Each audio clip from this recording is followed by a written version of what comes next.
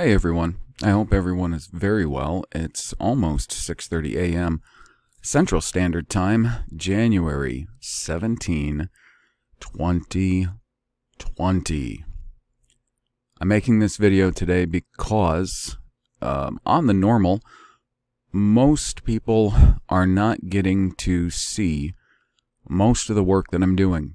The reason that that is is because the the greatest majority of the work I'm doing, um, the largest amount of my time, is put into researching, gathering information, and putting it all together for the book. Working title being the Bible versus the Ancient Near East.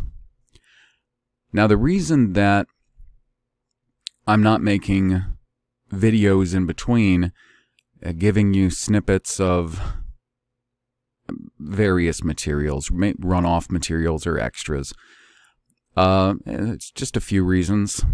One reason is um, actually the the amount of time I usually have to put into uh, to documents or some even limited research on the the two podcasts that I'm producing right now the Bible and Obry, and the Everything Keys, they take up a pretty good amount of time just on their own.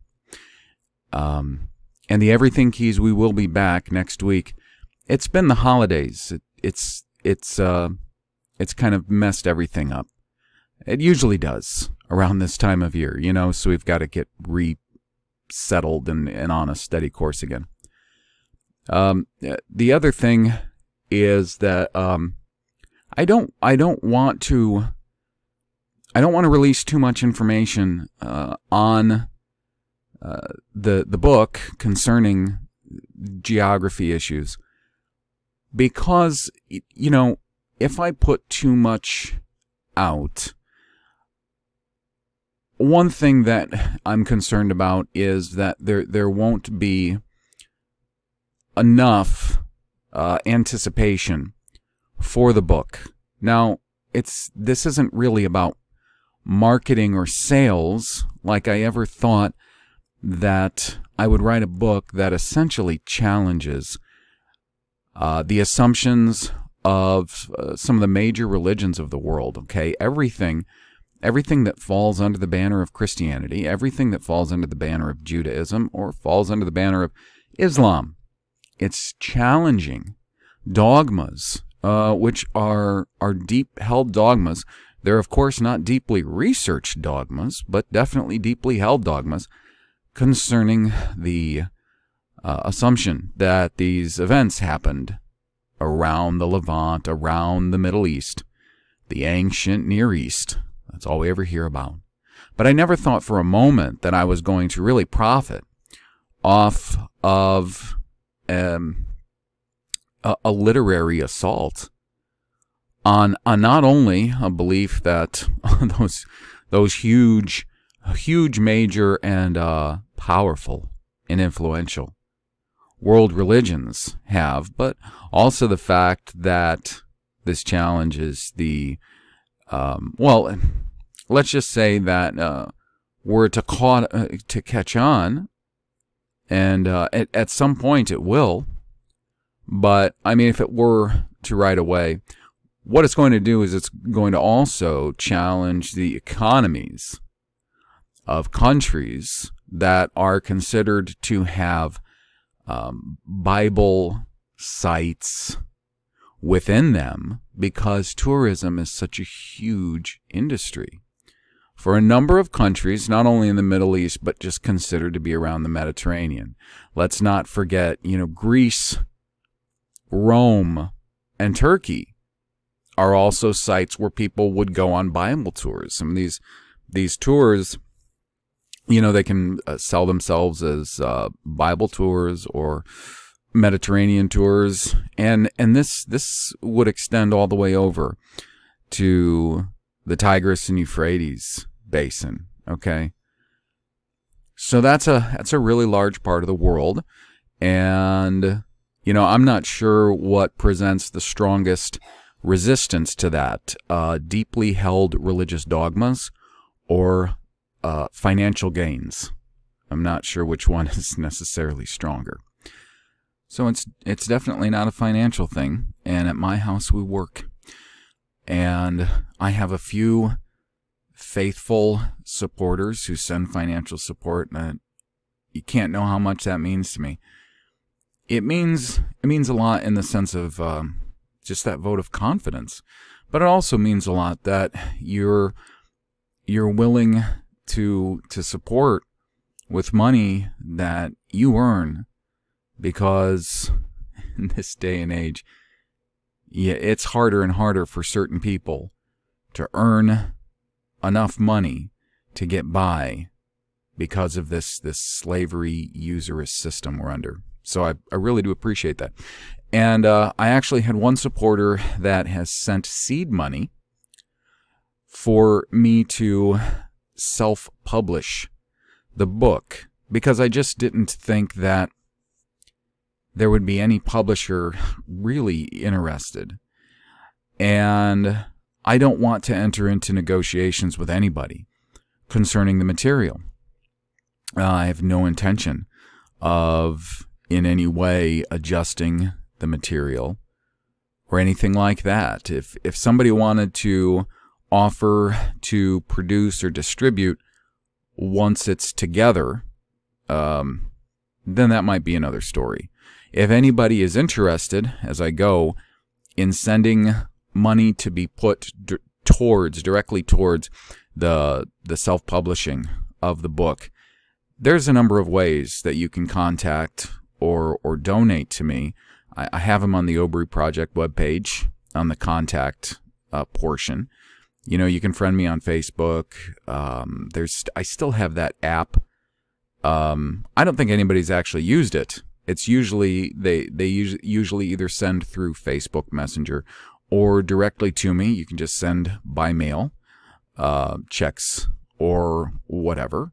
Um, I've had some that have actually gotten me items that I, I need to actually work. Um, so there's there's various ways, and and if you want to send a donation specifically that goes towards self-publishing, just let me know, and it goes aside in its own envelope, basically, to be put towards that. Okay, so that is essentially why I don't make uh, more frequent videos. It's just those other things that uh, oftentimes uh, require a lot of attention. The Bible and Obry is only going to have a couple more episodes of this season. And you know, the the topic I picked to sort of uh, highlight in word studies that different. It'll probably be at least a few months in between them so I can get things together. And uh, I definitely want to try to finish the book, uh, at least get it to the, the stage where it can be edited before I start uh, another season of something like that, which really requires a commitment. So, in this video, I'm going to be reading from a document that was produced in 1982. It was it's called Water as a Source of Cooperation or Conflict in the Middle East, and I would say definitely more conflict than cooperation. Um, and it was produced by the Defense Intelligence Agency. And now, uh, keep in mind when I read these these things, um, I believe that let's see that the the man who wrote it was a Robert DeGrosse, PhD, and the population of let's just say the population of Israel Palestine, okay? So all of the territory that we would consider Israel slash Palestine. And you could probably even include the, the Golan Heights in there. Um, was right around 4 million in 1982 when he's writing this. Uh, at least that's what the official numbers were.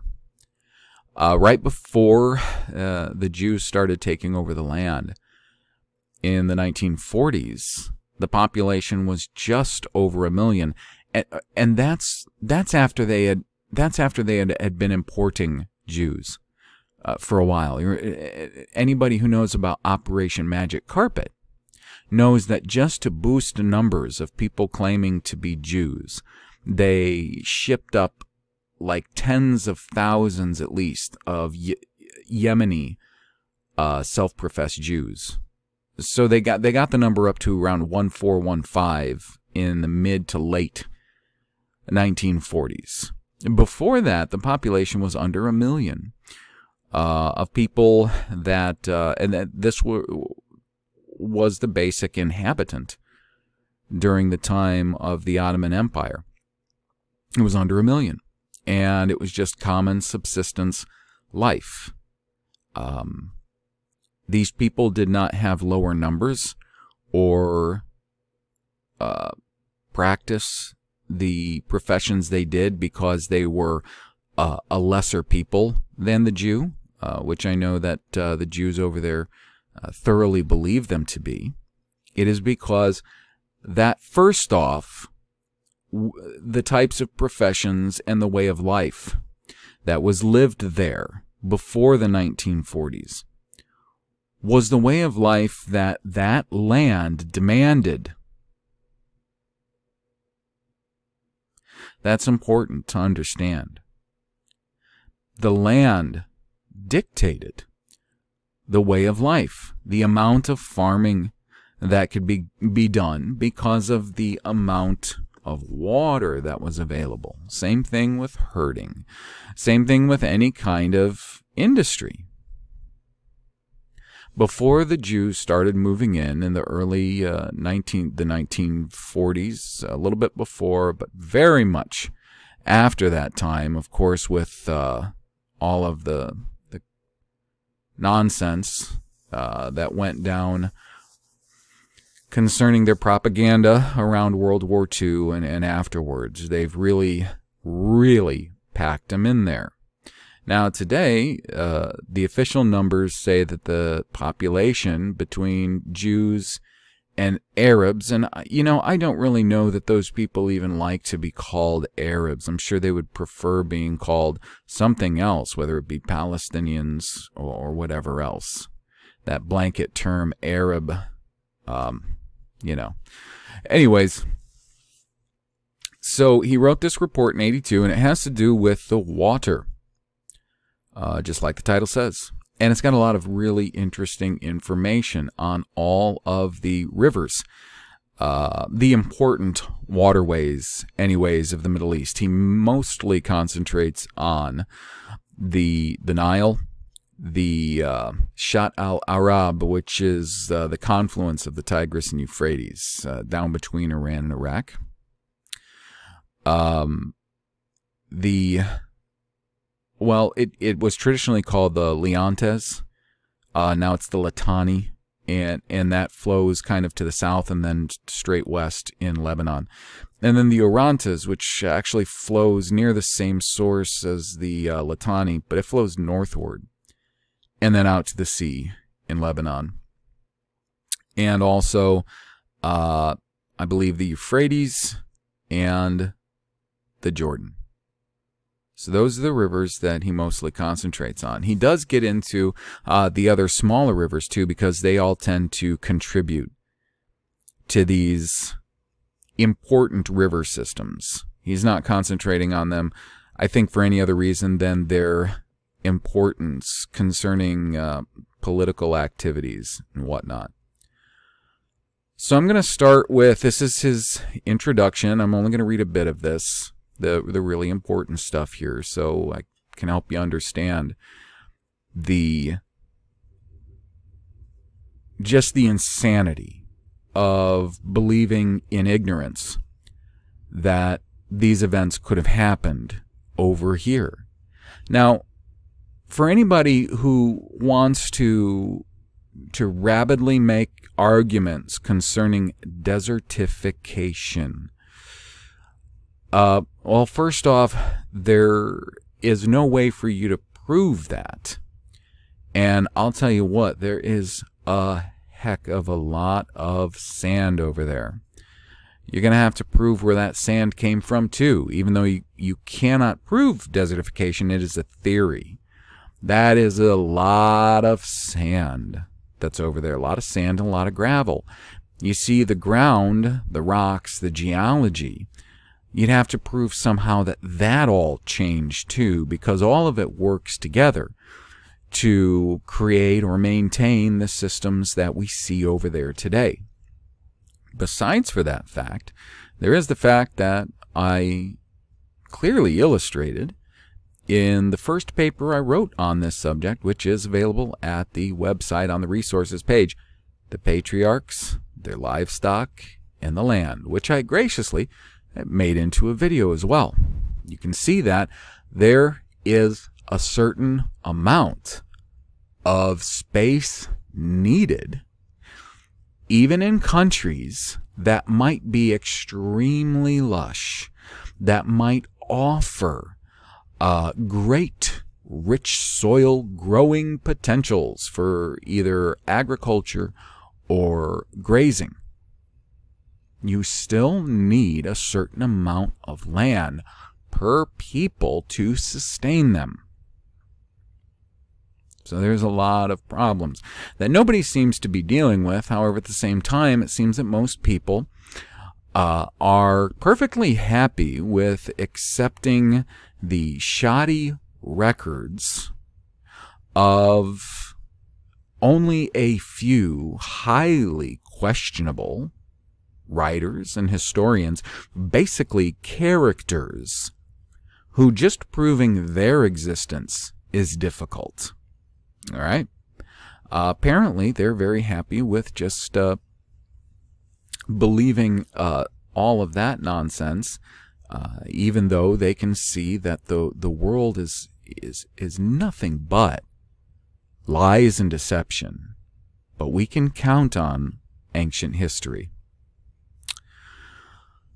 So, in this introduction, the author says that um, the combination of evaporation and non consumptive uses reduces the water quality of each of these rivers to the extent that several carry concentrations of dissolved solids in their downstream reaches that include cultivation or salinity sensitive crops. That's important. This condition also imposes severe constraints on the design of current and future irrigation systems. In addition to having nurtured the development of some of the most comprehensive water management schemes of antiquity, this region has witnessed the implementation of some of the most ambitious water management initiatives of modern times. Many of these systems were planned during a colonial era when Western European governments could aspire to comprehensive control of entire basins. The realities of mid 20th century politics, however, have dashed those hopes. Current water management developments in the region represent, at best, piecemeal realization of components of larger schemes and falls short of the benefits that might be realized by all water users from basin wide management available water resources. Now, concerning the water management systems of antiquity, what I'm seeing eh, just in the in my opinion, the propaganda pieces that were put out mostly in the 1800s. This was when um, the Palestinian Exploration Fund uh, was doing surveys and mapping the uh, the western areas. There were uh, various. Uh, the PEF was also involved to to a degree, and there were uh, various peoples that were being funded to go explore, uh, map uh, the the Transjordan.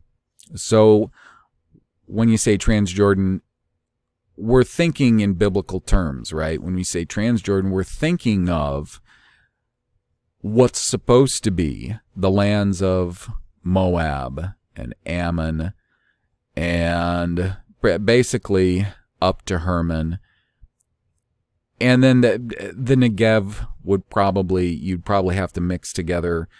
Uh, Edom would probably have to be a mix of of both the Negev and uh, and Transjordan, which just Edom in and of itself, if if you if you're gonna buy that, it's south of the Dead Sea to the Gulf of Aqaba. You you've got you've got serious serious problems that just there too. Now, this is the part of greatest interest. I haven't skipped anything. The next paragraph.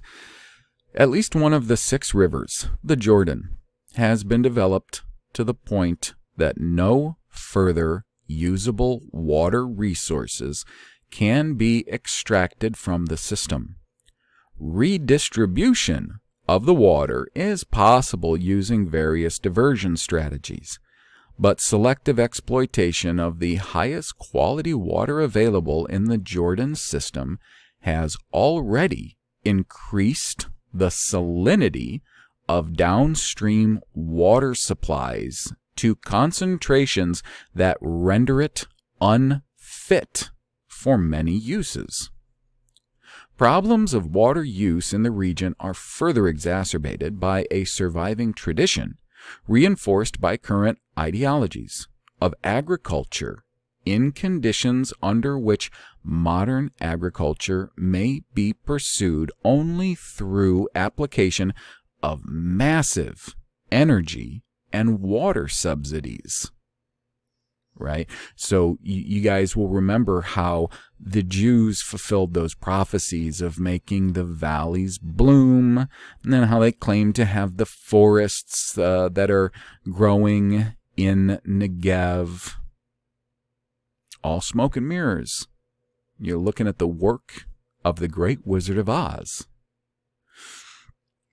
And now he continues, this is not unique to the Middle East. The United States food industry now expends 9 calories of fossil fuel for every calorie of food value delivered to an American household. But in the Middle Eastern, and in particular Israeli agriculture, the energy subsidy to the agricultural sector is absurdly high. And he won't even give the number. It must be that absurd. Or it was that absurd. This is 1982. In large part because of the great expense of bringing sufficient irrigation water to the most productive soils. So it's not it's not just about you know the water being wherever it's near, uh, not all of the soils of the land that any water or wadi flows through is the most productive. Okay, so they have to they they've had to implement all of these irrigation systems. They've had to dig channels along the Jordan uh, on either side uh, to to keep these places producing like they do. So all of this propaganda that you'll see if you go to Wikipedia and say you want to see a Wikipedia page on Gilead or let's just say the Jordan Valley and all that. They're not telling you about all of the extensive, unnatural, I'm going to say it like that just because it's modern techniques is what it took to even get it as far as it was in 82. It's, it's all bogus. They're not telling you about everything that had to go into that. And it has been massively expensive. You don't even know um, the kind of importation done into is not real on a on a monthly basis these days. The kind of consumption there, um, it's insane. And I know a lot of it they're they're keeping under wraps. Now he continues fully one fifth, fully one fifth of the energy resources currently consumed in Israel is used for pumping water. Pumping water. And 80% of that water is for agriculture.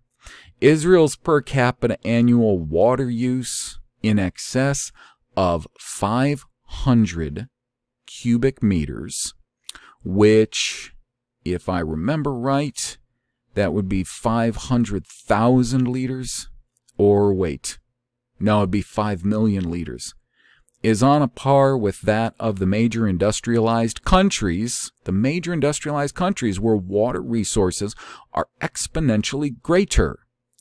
If this pattern of use continues, Israel will have depleted its domestic water supplies by the mid 1990s, which adds critical, complicated factors to the issue of its occupation of the West Bank, the Golan Heights, and southern Lebanon. Now he goes further into these problems, these issues, and and so far it has been a real great resource, quite an eye opener too. Now, with what he's saying about their depletion of water resources, and the other thing that they don't tell us is how briny the the the seepage water is that goes into Lake Tiberias, you know, that they say is the Sea of Galilee or Yam Kinneret. Very briny water. The water over there is is not all that usable. And the thing is, the Jews over there, they only allow the Palestinians to have running water 3 days a week. But the Jews, they use water excessively. He just said their water use and consumption is like a major country, a major, large, productive country like America. All right? Palestine's about the size of Vermont. And if they have, like they say, six million, six million Jews, their consumption rates are outrageous. Oh, wait a minute. Were outrageous in 1982. I can't even imagine what sort of financial and natural raping of the whole world they're doing to keep this farce going. He said they'll have depleted their water supplies, what they can keep pulling, at a population of 4 million by the 1990s. So, you guys all remember how in the 90s, what was a thing that you never thought you would ever in your life witness as a phenomenon? Because I can remember that was it was one of the weirdest things I've ever seen happen, and it started in the 1990s. Bottled water. Selling us water. Which was at the time when, like, Evian was first coming out, which of course is naive backwards. I thought that was the stupidest thing I'd ever heard. We get water out of the tap. Or when I grew up, we got it out of the well. Now, the thought is, well, what would us having to buy bottled water? And the thing is, I'm sure all of the people who owned the biggest production areas where they were pulling water out of the ground, and there's a lot of seedy stuff to this whole industry of, of bottling water. Not only what's been done to acquire springs and sources of bottling water, um, but the crap that they put in to bottled water and sell it off as something good. So you can imagine who's running it, right? And what my assumption is that because there would be such a need for water there, they would have to be importing somehow or another. I mean, they can only steal so many people's water for so long. And the population is double today what it was when this paper is being written. That, you know, in, in typical style, in their typical style, they probably thought, well, look, um, we're going to have to uh, take over uh, a certain amount, acquire a certain amount of uh, of areas of sources where we can extract fresh water, and we're going to have to ship it. Um, and we don't want to pay for it because we're the privileged class, we're the chosenites. So what we'll do is we'll take a certain amount of that, uh, that whatever we need to, and we'll bottle it and we'll ship it all around to the goy countries and we'll sell it all to them, and that'll pay for what we need. That's kind of my assumption. Who knows? I haven't had time to research that, and that's not, of course, the point to this. But uh, any one of you could, and that would be really interesting. You know, let me know if you find anything in that.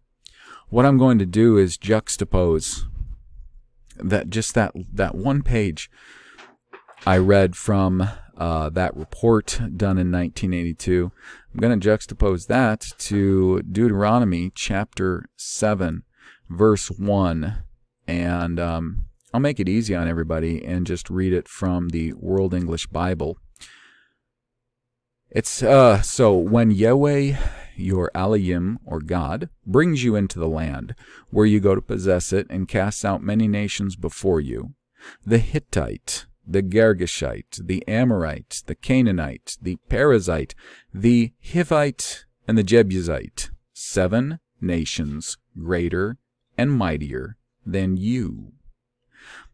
Now, in Obry, what he's saying there at the end is Shiboa, Goyim, Rabim, O Otsumim, Mamek, which is precisely what you just heard. Seven nations, Rabim, broader, um, multitudinous, uh, and Otsumim, much more powerful. Memek, from you, than you.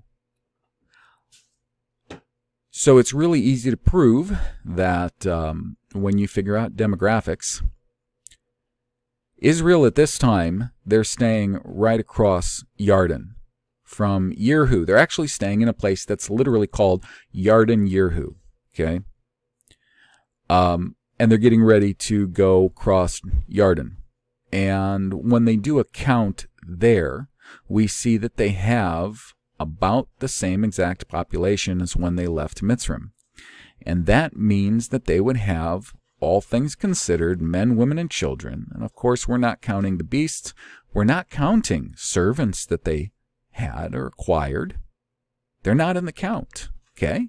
We're talking about men, women, children that were the blood descendants of Jacob Israel. They would have had conservative estimates two to three million. Okay? Seven nations greater and mightier than you. Let's just say the seven nations were about the same in people. Okay? Instead of greater and mightier, which it obviously says. So, what should we do? Should we should we get even more conservative? Should we say let's just say each one had 2 million. We'll we'll give that model every possible chance. We'll tie one arm behind our back and we'll give each one of those nations 2 million. Well, 2 times 7, that's 14. That's already 14 million. Now, eh, for for anyone out there who thinks that they can do the insane sort of gymnastics involving anything from desertification. Uh, the land may have been so lush. Um, anybody who wants to try to push boundaries and borders out as far as humanly possible, keep something in mind. Those seven nations, greater and mightier, um, that actually doesn't mention all of the other peoples that are named that also lived within the boundaries of the land that the children of Israel occupied. People like the Philistines, the Sidonians. Yeah, because Asher occupied part of, of Sidon, and also Dan, when they got their extra territory, were right near Sidon. So, of course, it has to be in this same area, because we're talking about amount of water and can it sustain. There is the Gerizim. That was a tribe in the land. There was the the Giblite. Was a tribe in the land. There was the Cherethites. There was the Pelethites. There was the Kenites. There was the Avites. Those were just some extra tribes of peoples, peoples within that land. And that's when I lost count. I actually have a list of peoples named in the Bible. It's a single column list, single spaced in 12 point font that takes up two plus pages. Now that's not multiple columns, that's just one column all the way down. But it's 12 point font at single space. That's a lot of peoples, types of peoples. So there's also to the north and slightly to the east, you have the Arami, called the, uh, oh, most Bibles call them the Syrians, right? Yeah. The Arami, the Hamati. You still have the Rephaim. And actually, I thought about the other tribe of giant peoples that had lived in uh, in Hebron. That was the oh, now I can't remember their name off the top of my head, but there were those as well. The Rephaim being giants. There was the Geshuri, the Mokai, the um, the Agari. There was the Almani, or the Ammonites. There was the Moabi, the Moabites. There was the Adami, the Edomites. There was the Temani, the Temanites. The Omlaki, or the Amalekites. How about the Cushi? Because I prove in my book that they had to be in this same area too. We need water for them. The Cushi, that's the people that marched a million man army up into Judah. How about the Orabim? They were the peoples that lived all over the place. Some in the land, some out of the land, some around Edom, some around Moab. The Sabaim, the Dedanim, the Medini. How about the Medini? They lived even east of the Moabites and the Ammonites, or the Moabites, Ammonites. They lived even to the east and among them. Then we've completely forgotten about the uh. Yeah, Ishmael. Ishmael and his descendants. All of these peoples lived directly around this land. Now, I, I would hate for people to think that I was I was gilding things any, and, and of course that doesn't consider the fact that even when the tribes of Israel to the north were moved out by the king of Asher, Assyria, he brought in a whole lot of people from other areas, and they were still occupying those lands. Things didn't really fluctuate that much population wise. Now, again, the thing is, I haven't even begun to talk about the uh, the Mitzri or Mitzrim, where they were, were slaves for 215 years, or all of the conscript nations that Mitzrim would often use in their wars and their battles. Um, and just the huge amount of various other peoples named. Um, I haven't talked about the ease of travel that certain people seem to have between lands that are supposed to be far off, uh, really that, that can't be accessed because of um, impossible deserts, so on and so forth. So, like I said, at a at a very conservative estimate, at a very conservative estimate, you would have 14 million. And that's basically saying the Bible's not correct. Even at even at if you wanted to get completely insane and and say something like well maybe maybe that's just the amount of people by how many fighting men Israel had. So when they were getting ready to cross the Yarden, they had about the same amount of men who could fight as when they left Mitzrayim, right around the 600,000 mark. Um, well, maybe that just means more than that. Well, you, can't consider these other peoples, their women and children and old folk, in the same category as the fighting men of Israel. But, but even if so, if you want to get really stupid, you'd have to give them a million per at least. Now, so then that's seven million in the land. That's on the other side of Yarden, okay? That's not over in Moab, Ammon, which also the Medini are over there. The Egeri, which covered a huge swath of land. The Geshuri, the Mokathi, the Arami, okay? That's not covering them. You would have to have at least 7 million if you wanted to tie both arms behind your back for the ancient Near Easters. And then you still have the 2 to 3 million of Israel. And that's just to start with. Because even though they killed the amount of people that they were told to in some cases, in most cases they didn't. They didn't kill them. They weren't supposed to kill everybody. They were supposed to, there's certain people that Yahweh told them they're done. Now, in some cases, they obeyed, they listened. In some cases, they didn't, and those people stayed with them. They didn't move them out, they put them to tribute. So the population of the land did not shrink amazingly. It still stayed very big. Very big.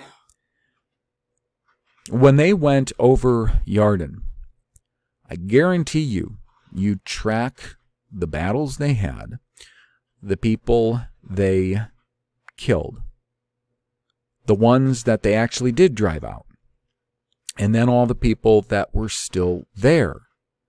The population, just to start with, was very, very large. And they weren't using all kinds of modern. Let's just say they could. What if what if we did that?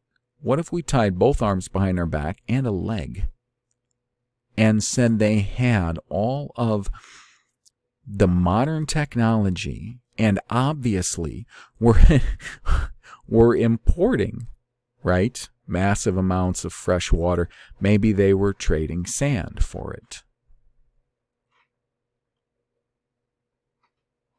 Then they're still going to have problems supporting a population which from the start with both arms and a leg tied behind their back they would have from the start. And you know the thing about it is when people settle in, they breed. They breed. When Israel was in Mitzrayim over 215 years, they went from 70 some odd persons that were direct physical descendants of Jacob. In 215 years, they had a couple few million. It's not that hard, folks. Just put together um, put together an Excel chart.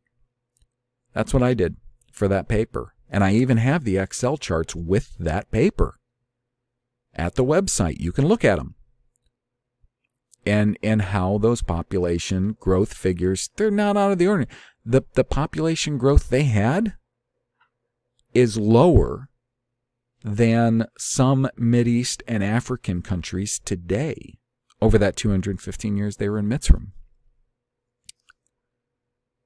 So, you know, the book won't concentrate much on demographics. I will probably, as appendices, put in those three articles that I've written that are at the site right now. They'll probably be edited when I put them in, maybe make them a little bit shorter or just revise them because I'm not going to have the, the actual Obry. I'm going to be using all English characters in this book. And so it's essentially going to look and read like English, almost like transliterated English. Uh, only I'm not forcing vowels into any of it. But believe me, once you take a look at it, you, you get very used to it very quickly. It's very easy to do. So it's going to be extremely readable. Um, I'm going to be doing that with the articles too. Just try to make them as readable as possible for anybody who doesn't want to touch Obry or, or, or get into to learning it or trying to get a, a, a handle on the alphabet or how it works. You know, you'll at least have that, and at least that will be extremely close to the original, at least in form. So, uh, until I'm able to uh, talk to you again, I hope you've enjoyed this, and uh, everybody be well.